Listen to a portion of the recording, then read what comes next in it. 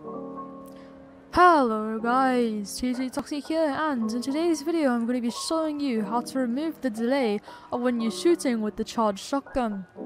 This video is going to be really quick and easy and I'm going to show you how to change your charged shotgun from shooting like this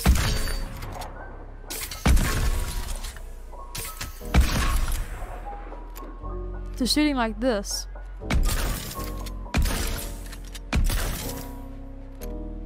Okay guys, but before I show you the method, I'd just like to say, if I do help you out, please consider subscribing and turning notifications on, and dropping a like, as that would really help me out. But without further ado, let's just get right into it.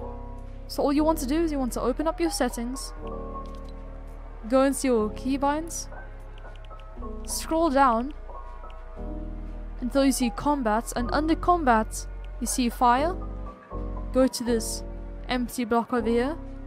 Click on it and either use the keybind scroll wheel up or scroll wheel down. I'm going to choose scroll up so I'm just going to push my scroll wheel up and click apply. Now all you need to do is just click the scroll wheel. As you can see it's shooting like the old pump. Guys, I'd just like to say if you enjoyed the video, just remember to drop a like and consider subscribing. But I'll see you next one.